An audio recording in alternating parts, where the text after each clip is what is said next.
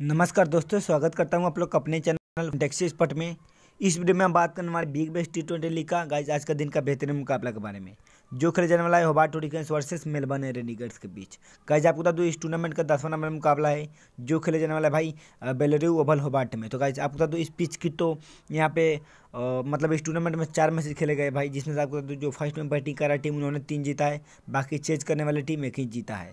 और बहुत ही अच्छे खासे स्कोर भी बन रहे गाइज़ और बैटिंग फ्रेंडली पिच मानी जा रही है। बाकी ज़्यादा ज़्यादा रन बनेंगे तो भाई एक सौ तो बनेंगे ही बनेंगे क्योंकि जब अगर होबार्ट की टीम पहले बैटिंग कर लेती है तो भाई एक सौ भी बना सकती है।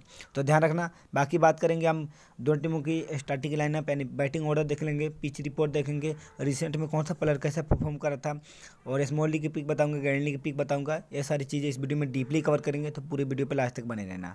आपको बता दो, जो होबार्ट हॉरिकेन्स की टीम है गाई जिन्होंने अभी तक इस टूर्नामेंट में तीन मैचेज खेला भाई, दो जीता एक हारा है। वहीं बात करें मेलबर्न रेनगर्स टीम की तो इन्होंने भी दो मैचेज खेला है, एक जीता, एक हारा है। जो मेलबर्न रेनगर्स लास्ट वाला मुकाबला खेला था भाई, वो खेला था सिडनी सिक्सर्स के टीम से तो वो मुकाबला गाइज़ मतलब बहुत ही बुरा तरीके से इन्होंने हारा था। तो उसी के अकॉर्डिंग हम टीम बनाएँगे, चाहे ग्रैंड लीग के पिको स्मॉल लीग के पिको पूरी वीडियो पे लास्ट तक बने रहना। गाइज़ ये मुकाबले होंगे उन्नीस दिसंबर, और गाइज़ पाँच बज के चालीस मिनट में तो आपको उस समय अवेलेबल है टेलीग्राम पे ही। अभी मैं वीडियो अपलोड करता रहा हूँ क्योंकि गाइज़ मुझे समय नहीं मिलता। तो समझ सकते हो, बाकी वीडियो पसंद है लाइक कमेंट ज़रूर करना। और चैनल बनी बार वीडियो को आज करेंगे चैनल को ज़रूर सब्सक्राइब कर लेना। बेल प्रेस करना ना भूलना। देखो, यहीं पर हम बता देंगे सेक्शन बाई सेक्शन चाहे ग्रैंड लीग पिको स्मॉल लीग के पी को बैटिंग ऑर्डर बताऊँगा। और इस टूर्नामेंट में कौन सा प्लेयर कितना मैसेज खेला है, क्या परफॉर्म रहा है उस टूर्नामेंट में एक एक प्लेयर के बारे में जानकारी देंगे। पूरे वीडियो पे लास्ट तक बने रहना।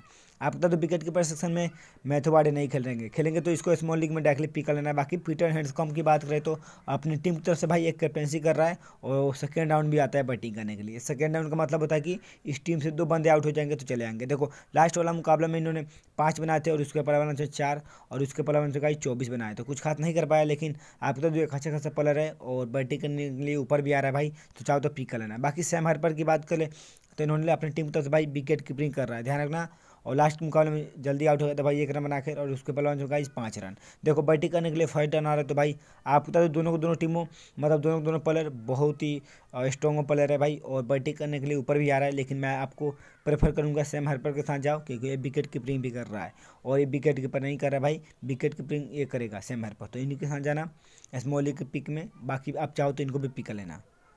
बात करेंगे बैट्समैन सेक्शन की तो आप बता दो एरन फिंच दिखेगा भाई। इन्होंने लास्ट मैच में ट्वेल्व बनाया था और उसके पहला बन गाई थर्टी फाइव। देखो, अपने टीम तरफ़ से भाई ओपनिंग करता है साउन मार्च के साथ।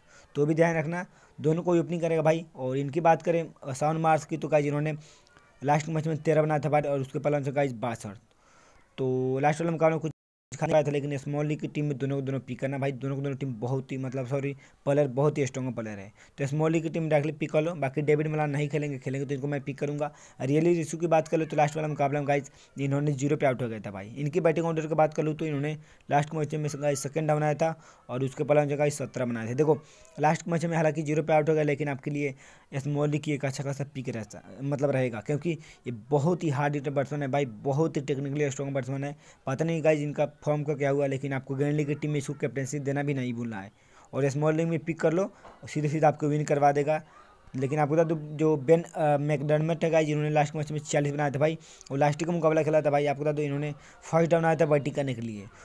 तो इनको भी पिक करना है स्मॉल लीग्स की टीम में, और फोर्टी सिक्स बनाया था लास्ट वाला मुकाबला खेला था भाई। इनको स्मॉल लीग्स की टीम में डायरेक्टली पिक कर लो, यानी ऊपर के एरन फिंच हो गए साउंड मार्स और इधर से गाइज़ आपको बेंड मेकर डरमट की बात कर लो। इनकी मतलब पिक कर लो। बाकी कोलिन इनग्रम की बात करें तो लास्ट वाला मुकाबला में इनका बात करें तो छियालीस बनाते भाई और बैटिंग करने के लिए ये भी भाई थर्ड डाउन आ रहा है भाई। तो थर्ड डाउन आ रहा है बैटिंग करने के लिए भाई कोलिन इनग्राम लेकिन एक अच्छा खासा पारी खेल रहा है भाई। फिफ्टी मतलब सॉरी फोर्टी सिक्स बनाए थे भाई। ट्वेंटी फाइव और फिफ्टी फाइव तो एक अच्छा खासा पारी खेला है भाई, जब भी खेला जब भी इनको मौका मिला है। तो स्मॉल की टीम में आप इसे भी पिक कर सकते हो। बाकी टीम डेविड की बात करें तो उन्होंने लास्ट वाला मुकाबले में कहीं चौबीस मारा था, इक्कीस और अंठावन। देखो फ़र्स्ट वाला मुकाबला इनका बहुत ही शानदार गया था, लेकिन आपके साथ बहुत ही नीचा रहा है बैटिंग करने के लिए। तो इनको सिर्फ़ मिनी जेल में ट्राई करना लेकिन अपनी टीम तरफ़ से कभी भी ये प्रमोट हो सकता है। ध्यान रखना, बाकी ये लोग नहीं खेलते, खेलेंगे तो सिर्फ़ गेंडली में पिक करना है। विल जैक्स की बात करें तो लास्ट वाला मुकाबला की बात करेगा इनकी तो लास्ट वाला मुकाबला खेला था भाई ज़ीरो पे आउट हो गया था। देखो, इन्होंने लास्ट वाला मुकाबला ज़ीरो पे आउट हो गया था, लेकिन अपनी टीम तरफ़ से भाई ओपनिंग करेगा, किन के साथ ओपनिंग करेगा? डी आर के साथ ओपनिंग करेगा भाई विल जैक्स बॉलिंग भी कर लेता है तो स्मॉली की टीम में इसको भी पिक करना है भाई। सीधे सीधे रख लेना, और इधर से कोई खेल नहीं रहा। देखो बैट्समैन सेक्शन की बात करें तो एरन फिच साउन मार्स और इधर से गाइज़ कोलिन इनकम को रख लो और इन दोनों में से किसी एक को रख लेना, बाकी आप इनको डायरेक्टली पिक कर लेना सॉरी इधर से पिक कर लेना विल जैक्स को।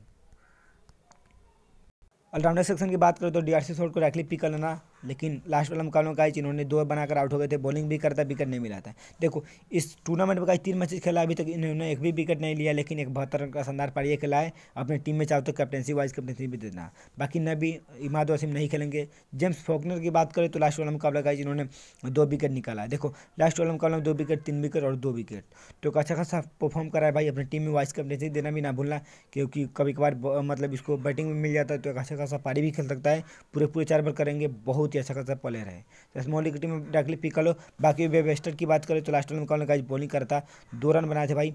और विकेट नहीं मिला था। लेकिन फ़र्स्ट वाला कॉल का जिन्होंने एक विकेट निकाला था, अपने टीम की तरफ़ से भाई थर्ड डाउन आते हैं बैटिंग करने के लिए तो एक अच्छा खासा मतलब पिक रह सकता है। तो स्मॉल की टीम में मैं इनको प्रेफर करूँगा। बॉलिंग बैटिंग दोनों करेंगे और बैटिंग करने के लिए ऊपर भी आ रहे हैं। बाकी जो प्रेस्टूज है गाइज़ इनको सिर्फ़ ग्रैंडली में पिक करो, क्योंकि लास्ट वाला मुकाबला गाइज़ खेला था। कुछ खास एक फैक्टर होता जाए, वो इसी की जगह पर इन्होंने खेला था। कुछ खास अफजाना नहीं। तो ऑलराउंडर सेक्शन में D'Arcy Short Faulkner और जस्ट आपको रख लेना है बेबेस्टर को। बात करेंगे हम बॉलिंग सेक्शन की। तो गाइज़ केन रिचर्डन को डायरेक्टली पिक करना, क्योंकि और लास्ट के थ्री मुकाबले की बात करें तो गाइज़ एक विकेट और तेरह रन तीन विकेट तो हर एक मैच में विकेट ला रहा भाई, इनको डायरेक्टली पिक करना स्मॉल की टीम में। बाकी इमरान ताई नहीं खेलेंगे गाइज़ जेम्स पिटिनसन में नहीं खेलेंगे। खेलेंगे तो इनको डायरेक्टली पिक करूँगा, बाकी अभी खेलने नहीं है।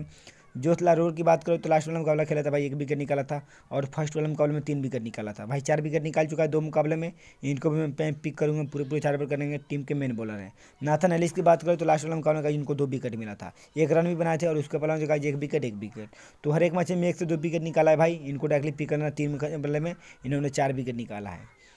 और वही बात करें गाइज़ रेलवे मेरेदित की तो गाइज़ उन्होंने लास्ट वाला मुकाबला विकेट नहीं मिला था, लेकिन उसके पहले वाला मुकाबला गाइज़ दो विकेट दो विकेट तो इनको भी पिक करना है भाई स्मॉलिक्स की टीम में, यानी ऊपर के गाइज़ रिचर्डसन को डायरेक्टली पिक करना लालोर को डायरेक्टली पिक कर लो और यहाँ से आपको गाइज़ नाथन एलेस को भी डायरेक्टली पिक कर लेना है। एक से दो विकेट निकाल कर दे सकते हैं और मेरे दीद को भी आप पिक कर सकते हो। बाकी स्कॉट बोलाने की बात करें तो लास्ट वाला मुकाबले का इनको पूरे चार बार मिला था। एक विकेट भी निकाला था भाई। और लास्ट के थ्री मुकाबले की बात करें तो गाइज़ इन्होंने तीन, दो विकेट निकाला है। बीच वाला मुकाबले में विकेट नहीं मिला था। लेकिन लास्ट वाला मुकाबले में विकेट मिला था भाई। इनको आप पिक कर सकते हो। डिफरेंशियल पिक रहेगा भाई। ध्यान रखना। बाकी बोथा की बात करें तो लास्ट वाला मुकाबले गाइज़ इनको नहीं सॉरी खिलाया गया था भाई। विकेट नहीं मिला था। तो एक ही मुकाबले में इनको दो विकेट मिला था, बाकी कुछ खास अपना नहीं। विंटर भी नहीं खेलेंगे गाइज़ सिर्फ़ खेलने में पिक करना है, खेलेंगे तो। और इधर से गाइज़ कुछ खास अपना नहीं। तो गाइज़ रिचर्डन को डायरेक्टली पिक कर लेना लालोर को, और गाइज़ इधर से लालोर को डायरेक्टली पिक करो। सेक्शन में गाइज़ मैं आपके साथ जाऊँगा, मैं अभी के लिए सैम हरपर के साथ, बाकी बैट्समैन सेक्शन में आपको रखना है कोलिन इनग्राम के साथ, और गाइज़ आपको साउंड मार्स एरन फिंच और इविल जैक्स मैंने बोला था कि मैं तीन को लूँगा, बाकी Faulkner D'Arcy Short इधर से लूँगा मैं गाइज़ बेबेस्टर को लूँगा। देखो, मैं प्रिव्यू कर देता हूँ। मेरी टीम बन गई भाई, और वही बात करें डेमो टीम में। फाइनल टीम नहीं है। फाइनल टीम में इसलिए नहीं क्योंकि इसमें बहुत ही ज़्यादा चेंजेस होंगे। लाइनअप आने के बाद ही टेलीग्राम पर प्रोवाइड कर पाऊँगा। टेलीग्राम का लिंक आपको वीडियो को डिस्क्रिप्शन में मिलेगा। लिंक पर क्लिक करना टेलीग्राम पर ज़रूर चले आना। बाकी वीडियो पसंद है लाइक कमेंट ज़रूर करना। चैनल पर नहीं पर वीडियो को आज करेंगे। चैनल को ज़रूर सब्सक्राइब कर लेना। बेलाइकन को प्रेस कर लेना। देखो, अभी के लिए मेरे कैप्टेंसी रहने वाला भाई वो भी रहेगा D'Arcy Short vice captaincy रहने वाला भाई, या तो विल जैक्स को दूँगा, या जेम्स फॉकनर को दूँगा। ध्यान रखना। क्योंकि गाइज़ ये दोनों, तीनों तीनों बॉलिंग बैटिंग दोनों कर लेता है। तो डेमो टीम में फाइनल टीम नहीं है आप टोस्ट टेलीग्राम पर प्रोवाइड कर पाऊँगा ऐसा ही वीडियो के साथ मिलते रहा बेस्ट ऑफ़ गुड बाय